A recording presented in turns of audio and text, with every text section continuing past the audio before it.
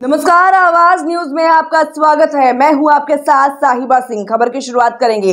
बिहार के शिक्षा विभाग से बड़ी खबर आ रही है कि शिक्षा विभाग के अपर मुख्य सचिव के के पाठक की बिहार सरकार से छुट्टी होने जा रही है। सूत्रों से मिली जानकारी की माने तो के के पाठक जल्द ही शिक्षा विभाग के अपर मुख्य सचिव का पद छोड़ेंगे। राज्य सरकार ने इस पर लगभग सहमति दे दी है।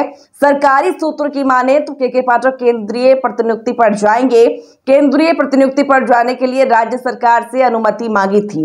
बिहार सरकार के सामान्य प्रशासन विभाग के सूत्रों से ये जानकारी मिली है कि मुख्यमंत्री नीतीश कुमार ने के के पाठक को केंद्रीय प्रतिनियुक्ति पर भेजने की सहमति दे दी है।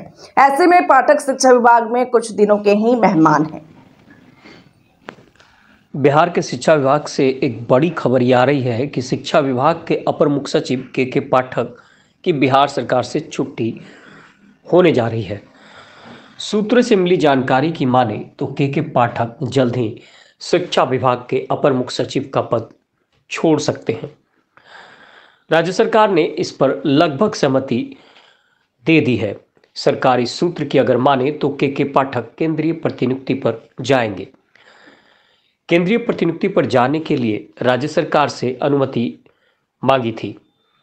बिहार सरकार के सामान्य प्रशासन विभाग के सूत्रों से ये जानकारी मिली है कि मुख्यमंत्री नीतीश कुमार ने के के पाठक को केंद्रीय प्रतिनिधित्व पर भेजने की सहमति दे दी है।